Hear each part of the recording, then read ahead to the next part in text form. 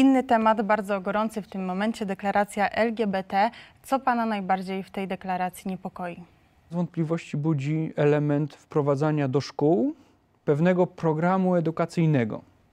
No i tutaj musimy się opierać na prawie. Nie ma innego wyjścia na podziale kompetencji, y, a kompetencją samorządu terytorialnego, czyli prezydenta miasta stołecznego Warszawy, nie jest wpływanie na program zajęć. W żadnym wypadku, a już na pewno akt, nie powiem prawny, no bo właśnie to podważam, to weryfikuję. Tutaj oczekuję na wyjaśnienia od pana prezydenta, czy to był akt prawny, y, czy być może tylko deklaracja polityczna, no bo tak też mogło być, ja to w pełni rozumiem. Pan prezydent jest politykiem y, aktywnym, czynnym, no to różne tego typu sprawy może podejmować, ale nie może to się przekładać na zdarzenia mające konsekwencje prawne. Czyli tutaj chodzi panu o takie sprecyzowanie. Na, na jakiej też... podstawie mhm. prawnej? Chociażby bardzo prosta rzecz, ponieważ żyjemy w demokracji y, i, i taki akt prawny, jaki y, zamierza wprowadzić, takie zadania, jakie przyjmuje na siebie pan prezydent y, Trzaskowski wraz z tą deklaracją, powinny mieć poparcie. Chociażby opinie prawników miejskich Rady Miasta Stołecznego Warszawy o tym, z jakimi przepisami to jest zgodne, na jakiej podstawie będzie to finansowane, skąd będą źródła finansowane. Nawet wykształcenie tych tak zwanych edukatorów też musi być uregulowane prawnie. Mhm. Skąd to się bierze? Kolejna sprawa, czy na przykład zapytał pan prezydent o opinię Komisji Edukacji Miasta Stołecznego Warszawy. No jest to organ demokratyczny, wybrany w zeszłym roku, który dawałby Y, nie tylko rękojmie, ale tego, tej powszechnej akceptacji, nawet warszawiaków. Mhm. A my mamy wrażenie, że to jest przekaz z ograniczonym Y, ograniczonego zaufania, określonej grupy, niekonsultowany na zewnątrz i to powoduje właśnie te wątpliwości. E, pan wezwał Rzecznika Praw Obywatelskich e, do ochrony prawa rodziców do wychowania dzieci, gdyż właśnie Pana zdaniem e, deklaracja łamie to prawo, jeśli chodzi o ten aspekt edukacji seksualnej w szkołach. Dorota Łaboda, czyli radna Warszawy, mówi, że te zajęcia, jeśli by się odbywały, to tylko i wyłącznie za zgodą rodziców pełni się z tym zgadzam, bo nie może być inaczej, ale tak jak pani redaktor wskazała, mamy zgodę rodziców. To jest przepis konstytucyjny, prawo konstytucyjne rodziców do decydowania o treściach, o edukacji, o wychowaniu własnych dzieci. Nie można inaczej. Kwestią jest wprowadzenie tego do systemu prawnego. Często podnoszone jest porównanie do zajęć religii, tak. które też są dobrowolne.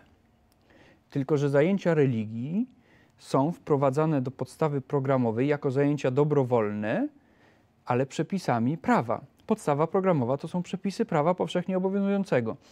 Deklaracje związane y, ze standardami WHO, sposób edukowania budzi wątpliwości nawet u samego pana prezydenta, który w ostatnich dniach zawężał interpretację, ponieważ otworzyłem deklarację, spojrzeliśmy wszyscy, że było opisane, że na standardach WHO, gdy otwieramy standardy WHO, mamy matrycę z poszczególnymi grupami wiekowymi, a zatem można to interpretować tak, że dzieci w przedziale 0,4 będą edukowane w takim zakresie, jaki wielokrotnie był podnoszony. Pan prezydent już się na szczęście z tego wycofał, że do czterolatków nie będzie tego stosował, ale nie mamy tej deklaracji pana prezydenta na piśmie, bo zaraz się może okazać, że ktoś inny, czy z Urzędu Miasta Stołecznego Warszawy, czy ktoś, kto weźmie sobie do serca tą deklarację i pójdzie do szkół, będzie uznawał ją za interpretowanie, za konieczność interpretowania rozszerzającego i wtedy uznamy, że faktycznie te 0,4 też będą kształcone w taki, a nie inny sposób bez zgody rodziców. No tak, to nie lepiej by było najpierw poczekać na tą interpretację prawną, doprecyzowanie tego w tym zakresie, a potem dopiero zwracanie się do Rzecznika Praw Obywatelskich o ochronę praw rodziców, no bo na razie cóż Adam Bodnar może z tym zrobić? Yy, może robić dokładnie to, co ja. Możemy wspólnie pracować. Zresztą takie są uprawnienia nas dwóch rzeczników, dwóch rzeczników konstytucyjnych, którzy mają prawo do tego, aby występować do organów, aby chronić praw już uregulowanych. Skoro pojawiają się głosy w przestrzeni publicznej wielu, wielu rodziców, no skoro pan prezydent powołuje się na dane oczywiście nie są póki co uzasadnione. Y, tej społeczności LGBT 200 tysięcy osób w Warszawie, no chciałbym wiedzieć skąd to wynika, czy to jest jakiś szacunek y, skąd wzięty, ale pewnym jest, że jest y, wiele set tysięcy rodziców, którzy mają już prawo konstytucyjne i ustawowe do, do decydowania. I to prawo w wielu przypadkach rodzice zgłaszają, że jest zagrożone, bo nie wiedzą, jak się zachować. Oni już teraz z założenia wiedzą i przyjmują, że nie chcą, aby ich dzieci w ogóle o takich treściach się dowiadywały na etapie 0, 4, 4, 6, 6, 9, 9, 12 i, i, i więcej. Rozmawiam z panem jakby o zagrożeniach z perspektywy politycznej, ale jest pan też ojcem, więc co z takiej perspektywy ojca jest tutaj dla pana najbardziej niepokojące, na przykład jeśli chodzi o tę e, edukację seksualną? z perspektywy rodzica, z perspektywy rodzica y, postrzegam na, na to, co jest przekazywane w szkołach, w systemie edukacji, po pierwsze jako zaufanie. Dzisiaj, wczoraj, każdego dnia posyłamy swoje dzieci do szkół, odwozimy je w pełnym zaufaniu, że to, co tam się dzieje, to, jakie treści są przekazywane, są zgodne z tym, co my wiemy, że będzie, bo to jest w podstawie po- programowej, jest takie domniemanie, że wiemy, co jest w tej podstawie programowej. Możemy zapominać w naszej edukacji, że kiedyś yy, całki czy różne inne bardzo trudne zadania były yy, realizowane, ale z zaufaniem oddajemy nauczycielom, których szanujemy, wiedzę, umiejętności, oni wspólnie z nami wychowują. I to jest to zagrożenie. I nagle miałbym się dowiedzieć, na przykład od mojego syna, że przyszedł pan, który mu zaczął opowiadać takie rzeczy i wypytywać się, czy przypadkiem nie czuje się w taki czy inny sposób. I ja się na to nie zgadzam jako rodzic. Wielu rodziców być może też się nie zgadza, bo takie głosy dochodzą. To moją rolą jest jako rodzica i każdego z Państwa to, aby zadecydować, czy dziecko jest gotowe, jaki jest etap rozwojowy tego dziecka, czy już na takie treści przyszła pora, czy nie, jeszcze nie. I w którym momencie to będzie wprowadzane. W szczególności, tak jak powiedziałem, że ta, te standardy, te matryce są na tyle ogólnikowe, oczywiście jest podnoszone, że to ma być dostosowane do wieku, ale kto o tym ma decy- decydować? Kto o tym ma decydować? Ten tak zwany edukator, który nie jest w systemie edukacji, nie jest pedagogiem, nie jest nauczycielem, nie jest to w programie. W jaki sposób ma to zweryfikować? Y, czy, czy będzie siedział gdzieś y, na korytarzu i weryfikował? No właśnie po czym będzie weryfikował dzieci, że już temu dziecku się należy taka wiedza, a temu nie. Rozumiem. E, czy deklaracja zawiera w sobie coś, z czym pan się zgadza?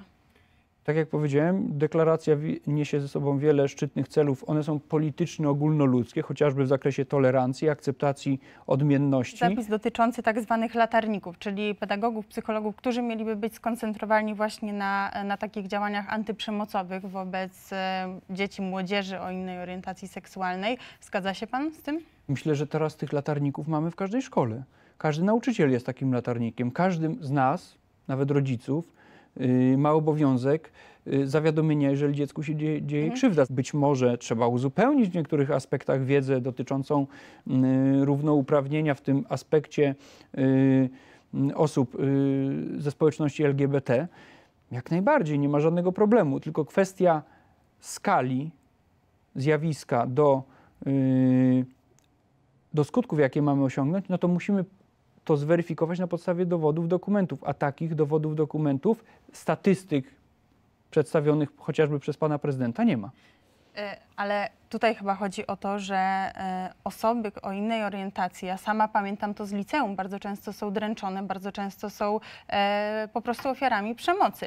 Czyli jeszcze raz wrócę do pytania, trzeba- czy zgadza pan się z tym zapisem, czy nie? I to trzeba tępić i każdy pedagog, każdy nauczyciel, który widzi takie zdarzenia, ma obowiązek zawiadomić nie tylko organy ścigania, ale może zawiadomić Rzecznika Praw Dziecka. Taką pomoc y, znajdowały u mnie y, dzieci nie tylko teraz tutaj, gdy jestem Rzecznikiem Praw Dziecka, ale również gdy byłem adwokatem czynnie wykonującym zawód, czy y, dyrektorem w Ministerstwie Sprawiedliwości, który zajmował się sprawami rodzinnymi, gdzie, sprawa, gdzie trafiały sprawy właśnie do sądów rodzinnych z różnych tytułów. Również sprawców nieletnich, którzy na przykład znęcali się nad y, kolegami, nad rówieśnikami. Czyli Takie sprawy też się, się pan z tym zapisem, ale uważa pan, że te osoby nie powinny być specjalnie jakby głównie skoncentrowane na e, osobach o innej orientacji Tak, bo to jest seksualnej? powszechne, mo, mogłoby być powszechne zjawisko. Powszechnym zjawiskiem powinna być czujność, y, tolerancja i niezależnie, czy ktoś ma prawny obowiązek y,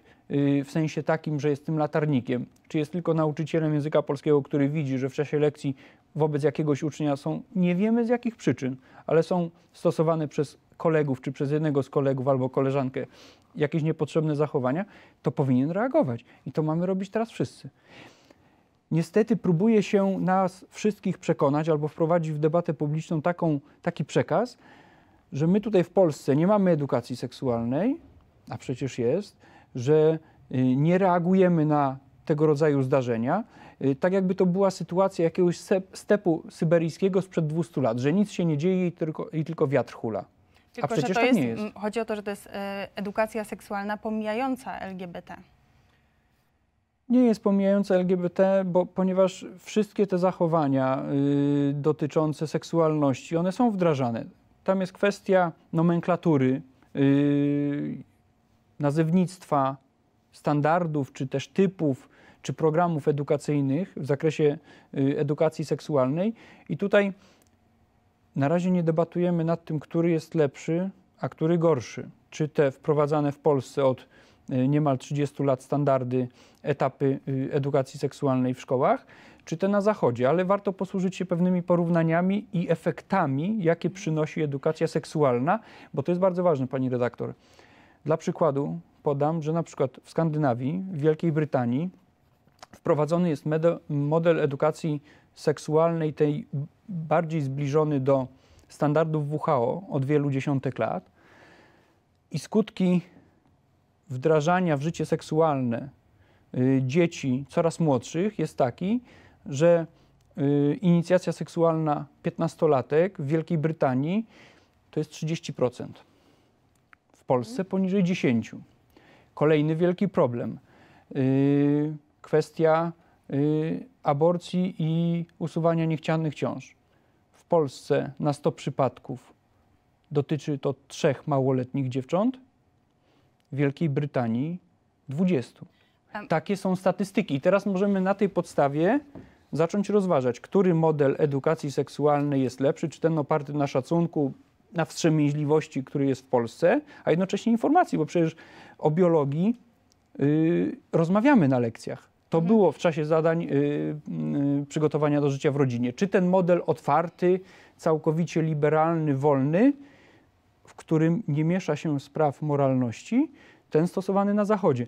To jest odrębna sprawa. Ja mam za zadanie bronić dobra dzieci. Czy Pana zdaniem mówienie wprost o tym dzieciom, e, że e, osoby o innej orientacji seksualnej, innych potrzebach rzeczywiście są i mogą być wśród nich jest e, niebezpieczne, jest groźne? Mówienie wprost o tym. To jest decyzja rodziców, czy i na jakim etapie życia dziecka będą taką decyzję podejmowali. I to jest zapewnienie prawne dla rodziców. I nie mnie teraz oceniać, czy samo mówienie jest potrzebne, bo gdy dzieci pytają, to my musimy dorośli im to wyjaśniać i um, musimy potrafić to wyjaśnić. Zbytnia seksualizacja, zbytnie rozbudzanie popędów w zbyt wczesnym wieku prowadzi do takich sytuacji, z jakimi spotykają się i zmagają teraz kraje zachodnie.